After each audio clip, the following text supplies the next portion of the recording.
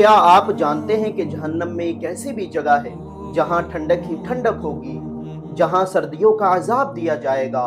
इस जगह का नाम जमहरीर है। अगर यहाँ कोई गुनहगार सिर्फ़ अपना कदम रख दे तो चंद सेकंड के अंदर उसके जिस्म इस तरह जमकर टूट जाएँगे।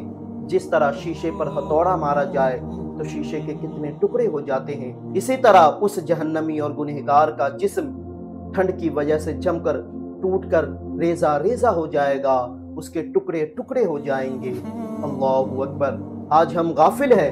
आज हमें जहन्नम और उसके आजाब का कोई ख्याल नहीं। आज हमारे दिल से दोजक का डर निकल गया, अल्लाह के आजाब का डर निकल गया। हमें चाहिए कि हम तौबा करें और अपने रब की तरफ़ लौट आए, ताकि उस दिन हमें अपने नबी की शफात नसीब हो और अल्लाह हमें जहन्नम के आजाब से बचाए। तो कमेंट में आमीन ज़रूर लिखें।